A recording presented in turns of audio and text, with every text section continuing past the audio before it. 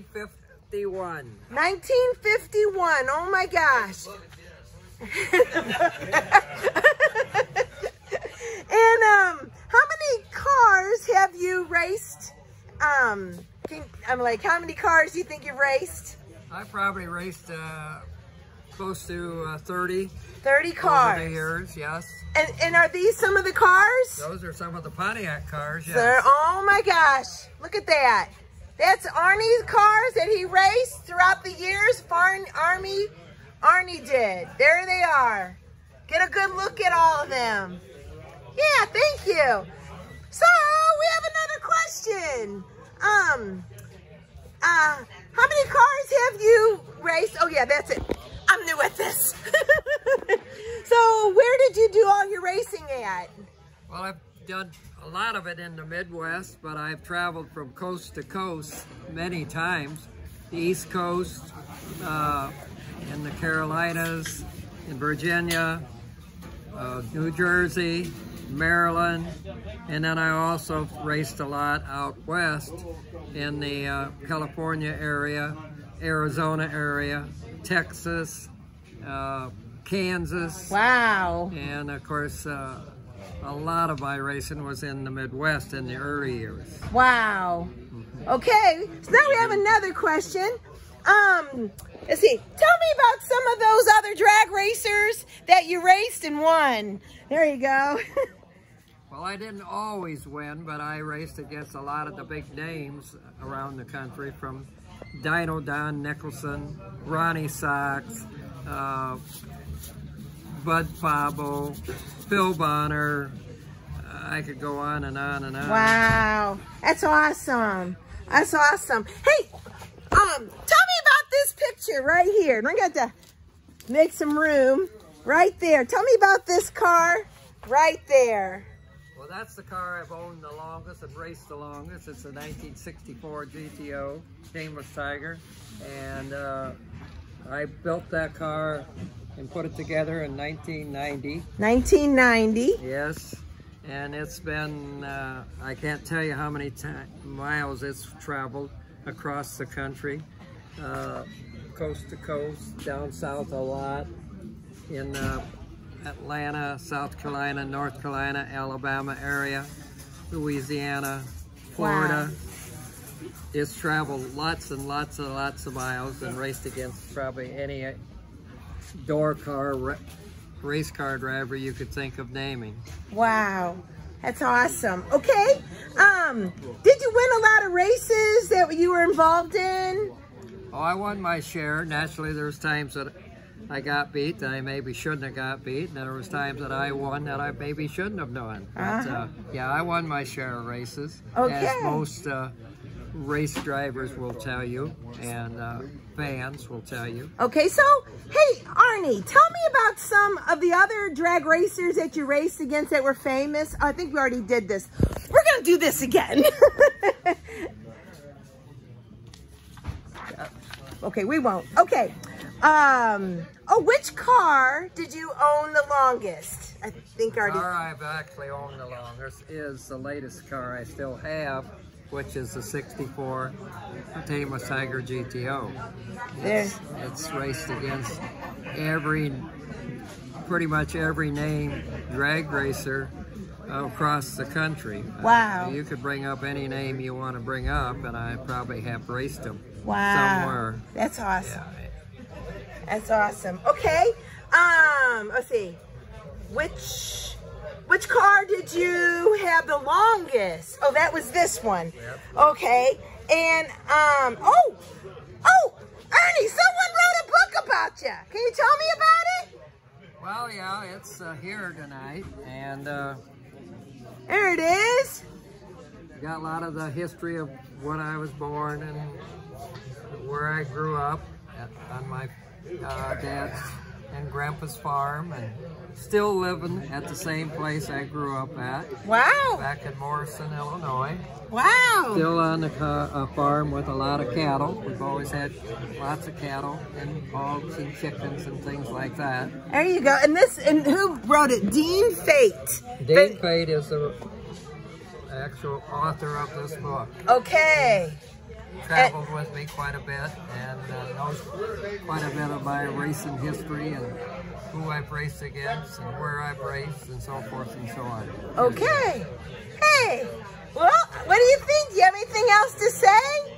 Well, uh, I started my racing career, you might say, in uh, early 1950s. Huh? And then I uh, got drafted into the Army and spent two years in Korea on uh, Papasan Mountain between North Korea and South Korea. Okay. And uh, lived in a little foxhole with sandbag bag bunkers and uh, three other guys. So uh, uh, that was quite a life there. Yeah. And after I got uh, discharged from that, I, I got back into the farming business as well as the racing business Wow. and uh, started with my 1953. I Wow. I used to drive Oldsmobiles to start off with. Uh-huh. And then uh, all of a sudden, the Dodge cars looked like they was going to be the winning combination. So in 1956, I ended up, like a lot of these people at this event tonight, uh, got into the Dodges and There you go. did some butt kicking with those cars. There you go. Yes. Well, I think we're gonna call this a wrap, right? Know what? We'll call it done, and I appreciate talking with you. Thank you. Yeah. You. Yeah, we're over at uh, Clay Cazoos. Mr. Clay. I think he's not in here. We're at Rosie and Clay's, and uh, as you can tell, there's car stuff everywhere. And again, we have all the friends. So, thank you. You're welcome. Okay, bye-bye. Never lost for words. Bye-bye. okay, Arnie, did you run at any national drag race events? Yes, I sure did. I run at the NHRA, I run at the IHRA, and I also run at NASCAR uh, drag race events. NASCAR had uh, a lot of winter nationals at Daytona Beach. At the same time, they run the NASCAR circle track cars uh, on the big speedway. So in 1960, the NHRA and NASCAR started their first winter national event at Daytona during the nighttime of the Daytona 500 races and time trials and so forth. So we run a, a week-long race there every night from Saturday prior to the big Daytona 500 race the following weekend.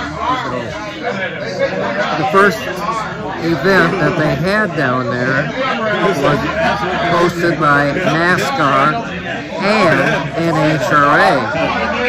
NHRA had not won a, ever run a Winter Nationals prior to 1960 when they joined forces with NASCAR. Well, after that year, because they were so successful in the amount of crowd that they had for spectators and uh, racers, Wally Parks, who was president of NHRA, decided, hey, I don't want to split all that money with NASCAR. I'm going to start our own Winter Nationals out in Cal- California. That's what he did in 1961. So I continued to run down in Daytona because it was closer and I had some pretty good results at Daytona for wins. Wow. Hey, pretty much every year I won the Superstar Superstar? class list. Wow. 1964 because Ford had built uh, what they thought was going to be a real winning car, the Ford Thunderbolt. They sponsored the NASCAR event at Daytona that year. And uh, because they had just come out with the Thunderbolt, which was a real kick butt car and uh, they thought that would probably win the event. So they, they put up pretty good money for the overall week winner, as well as a Ford convertible. So, luckily, and maybe because my car was pretty good too, I won that week-long drag event in 1964 with my Pontiac Le Mans car. That was 58 years ago. Yeah, it's been a couple days ago. Yeah. For sure. And Ford was so sure that my car was not legal that they tore me down three different nights during that event. Wow. But NASCAR officials who checked the car out each time I tore down said, no, there's nothing illegal about this car. Wow. So I ended up winning the overall week event as well as the Ford convertible. Wow. That was one of my prize prize wins Wow. Uh, of my season up to then. I had won a lot of races. I, I won uh, some of the other NHRA. I never did go to a lot of the NHRA national events because other tracks at that time is kind of the prime time of the season. So I got a lot of invites from different tracks across the country to come in and race at their events, and they would pay you money, expense money to get there. So I run at a lot of different tracks, from the East Coast to the West Coast to the southern tracks in the Carolinas and Georgias and Alabamas, Florida, uh, all those types of places, strictly because they paid good money to win, plus they paid you expense money quite often just to come to their event. Yeah. I, I did very, very well in uh, those years. Wow. Very, and I run against some of the best other racers in, in the country. Wow. And I won my share. Yeah, I got beat a few times, naturally. But, but it was all fun and fair and uh, a good time. and you can't imagine the amount of great, great people that I got to meet. Not only race car drivers, but fans as well. Yes. The southern track drew much bigger spectator crowds than they did up north because they promoted them and they tried to always have an assortment of brands of cars. Yeah. So you had all the fans, whether it was a Ford fan, whether it was a Pontiac fan, Chevy fan, a Mopar, Dodge Plymouth fan, they all was there at the track. Wow. It was, it was huge, huge. I love to race in the South because of the, the amount of crowds they had and the enthusiasm. Yeah. Yeah. That's awesome. That's fun. Yeah, and uh, I got to meet some of the greatest drag racers in the country. Wow. I don't care which one you name They're today, they were good. They were uh, special people to me. And of course, a lot of them have passed away that I did know. But there's still a lot of them, like myself, Yeah. still around. And, Yeah. uh, loving every minute you get to spend at those, those kind of events. Yes. Yes. Well, that's awesome. Thanks for sharing. Yeah, I could go on. There you go.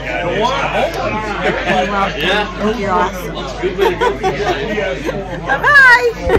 Bye now.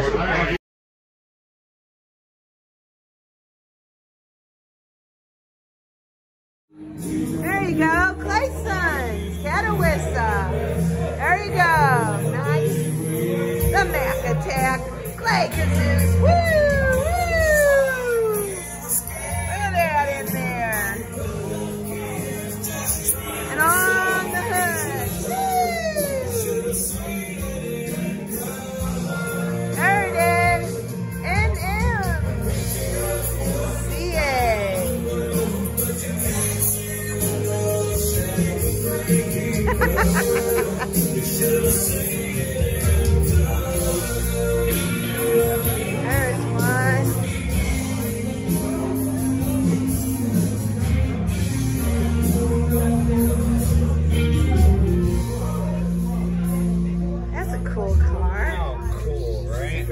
Yeah. Sexy. Yeah, look at that one. Yeah. Um, Got a six pack right back here. It's another car. Oh my gosh, I bet everybody is thinking, no way, no way, oh yeah. What is this? There it is, it's a Challenger.